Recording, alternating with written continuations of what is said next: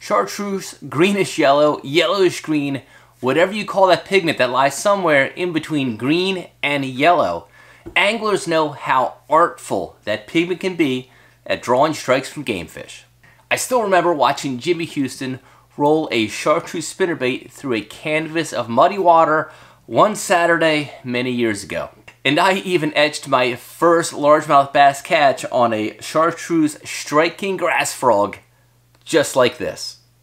Since then, my tackle box has been plastered with chartreuse colors, and I've used it to tempt everything from Chesapeake stripers to California spotties. But I've always wondered who came up with that crazy color and just what makes it so effective at attracting fin predators. Well, today on Retro Bassin, we're going to answer that question and many more as we take a deep dive into the history of the color chartreuse. Retro bassin, kicking some ass and wearing rayon jackets. Thinking about Bill Dance, watching these fish prance through my Ray-Ban glasses. Ain't nothing better than 40-year-old lures coming off of Zebco 33.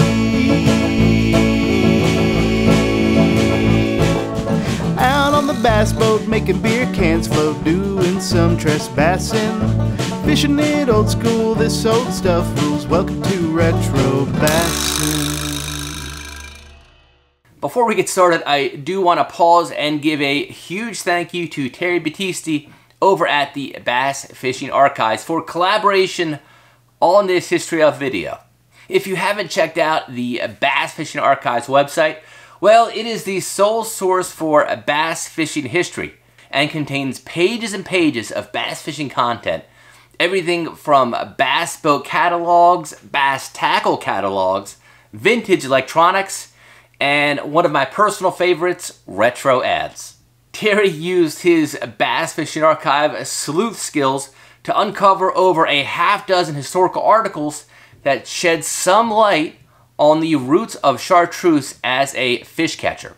In addition to that, he sent along some high-res images of a 1974 Okiebug catalog that I know you guys are going to enjoy. As we continue our history of series, look for more collaboration with Bass Fishing Archives. But in the meantime, check out Terry's two different YouTube channels. First, the video version of Bass Fishing Archives, and second, the Big Bass Podcast with co-host Ken Duke. The color chartreuse originates from a French liqueur by the same name, crafted by the Carthusian monks since 1737. The liqueur, known as the Elixir of Life, was named after the monks' Grande Chartreuse Monastery, which is located in the Chartreuse Mountains in southeastern France. The liqueur was sold in two different varieties with two slightly different colors, but you'll notice the tint of the liqueur lacks the fluorescence of the chartreuse that we know and love today. In the 1960 Universal film The Chartreuse Caboose also featured a muted yellow-green train car. When bass fishermen think of chartreuse, however, they likely think of the more neon yellow version, which can be traced back to the 1930s, when a University of California student named Bob Switzer found himself confined to a darkroom while recovering from a head injury that blurred his vision. There in the dark, Switzer, with his chemistry student brother, mixed murine eyewash with alcohol and shellac until they formulated a substance that glowed fluorescent under blacklight. After perfecting paint pigments that retain their luminous qualities in the daylight, the Switzer brothers patented Day-Glo fluorescence in 1937. The US military reportedly purchased $12 million worth of Day-Glo paint in World War II, and soon Day-Glo colors could be found on everything from commercial advertisements to album covers to the latest fashion. Then, in the early 1970s, a New York ophthalmologist named Stephen Solomon scientifically confirmed the visibility of our favorite fluorescent, chartreuse, when he researched the most visible colors for emergency vehicles such as fire engines. Solomon reasoned that traditionally red fire engines would not be visible in low light conditions as a result of the Purkinje effect, which states that reds will appear darker relative to other colors as light levels decrease. And in 1973, around the same time that Rayo Breckenridge was eking out a victory over Bill Dance at the third annual Bassmaster Classic, Solomon published his research concluding that sparkling bright lime green paint would boost the nighttime visibility of emergency vehicles over the standard red. As a result, fluorescent chartreuse green was soon adopted as the color of choice of fire engines in many parts of the United States. And fluorescent yellow lures and neon tracksuits were soon to follow. I'm not quite sure how he did it, but half an hour after we first discussed this project, Terry over at the Bass Archives sent a half dozen 60 year old news articles outlining some early chartreuse catches. Without photographic support, it is hard to say if these descriptions refer to the actual chartreuse that we know and love today, or one of the more early muted versions. The first historical report we found of a chartreuse lure catch was in a 1954 fishing report from the Macon News. Georgia angler Larry Kitchens caught three largemouth bass, 13 brim, and two jacks on a fly rod and a chartreuse colored popping bug. In a 1955 edition of the Daily News, walleye anglers on Chautauqua Lake reported success with yellow, lime green, orange, black, and chartreuse hand-tied jigs. I wonder if chartreuse first gained popularity with fly and jig tires, as a 1960 edition of the Longview News reported that anglers picked up largemouth bass on, quote, yellow and chartreuse bass flies. One of my favorites was an outdoor article in the 1960 edition of the Baytown Sun, and it gives a little insight into favorite artificial bait colors of the day, and this one I've just got to read. Don't know whether the color is here to appeal to women, as car manufacturers do, or for the catch 'em effect. Anyway, you can buy artificial bait today in coal black or all white, in polka dot, black dots on white or white dots on black, plus a mixture of other colors. You can buy them in solids and various shades of yellow, green, gold, blue, chartreuse, orange, gray, tan, yellow, or what have you. In a 1966 article in the Memphis Press Scimitar, outdoor writer Buck Patton describes local success with new, quote, pastel colors, including a chartreuse lure with a green skirt.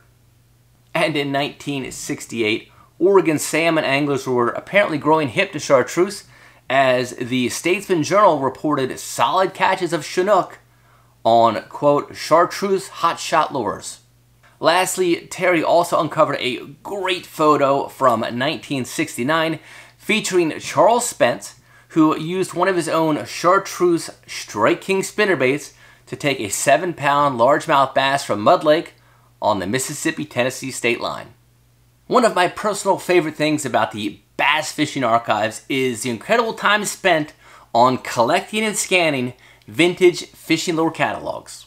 In the research for this video, I came across a 1974 Okiebug catalog on the Bass Fishing Archives website that I thought would be a great example of that transition period from yellow to chartreuse as a popular artificial lure color.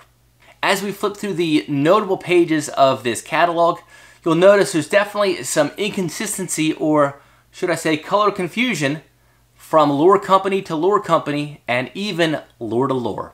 Appropriately, the first lure featured is Don Butler's own creation, the SOB Small Okiebug Spinnerbait, a lure on which he won the 1972 Bassmaster Classic. First off, let's not overlook the fact that you could have gotten a dozen of these beauties back in the day for $11.60 or about 92 cents per lure. The color chart gives an early look at some of the early chartreuse yellow lime struggle as we see solid skirts available in fluorescent chartreuse, yellow, and lime. It's hard to tell in 2D, but I imagine even Don Butler himself would have a hard time discerning a chartreuse Okiebug from a lime one. The color confusion continues on the next Okiebug page where one struggles to tell the difference between chartreuse and yellow soft plastic spin bug bodies. On the Jellyworm page, a Tom Mann managed to circumvent the yellow or chartreuse debate altogether by simply offering fruitful colors like apple, lemon, and lime. However, the Mann's Woolly Bully spinnerbait was offered in both yellow and chartreuse.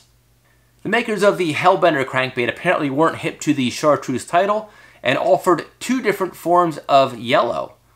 One, a yellow ghost, which resembles a more traditional yellow, and also a yellow with black ribs, which has more of that limey tint to it. The Rogers Humming Rat was offered in both yellow and fluorescent yellow, which anyone could argue is chartreuse by today's standards.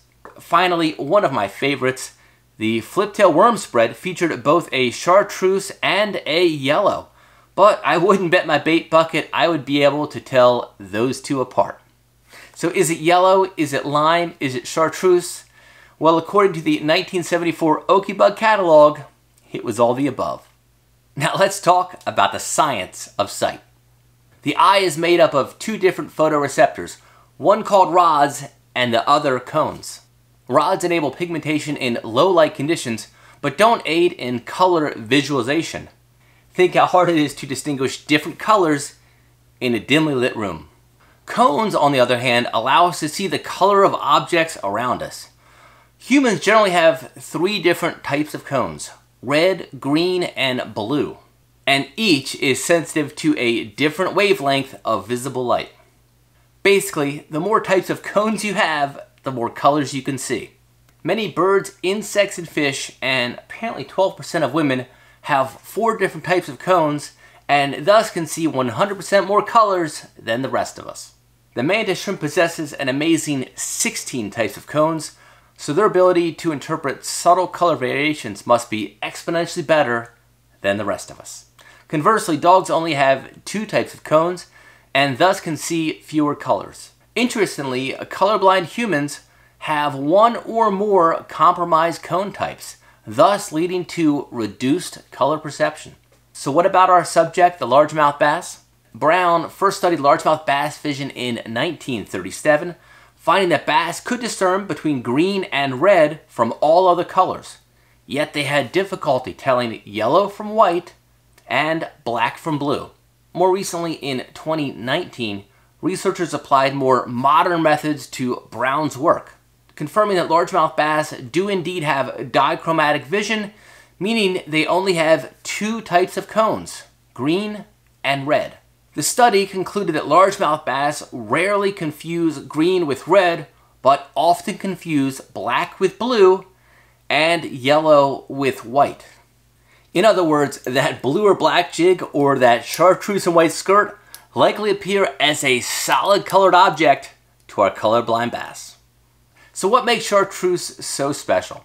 Some say chartreuse stands out above all other colors in stained water while others claim that fluorescent chartreuse is actually one of the more lifelike colors around, mimicking the natural hues of baitfish. I can't say which of those theories is correct. All I know is that whenever I tie on a chartreuse colored lure, a lifetime of catches washes over my mind's eye. So to all the bass and buds out there, I hope that you get to paint your next fishing masterpiece with the color chartreuse. If you enjoyed this History of series, please drop a comment down in the video comment section and let me know what other lore or topic you would like to see covered next on this little series. And if you're looking for some more old school content, you can click right here.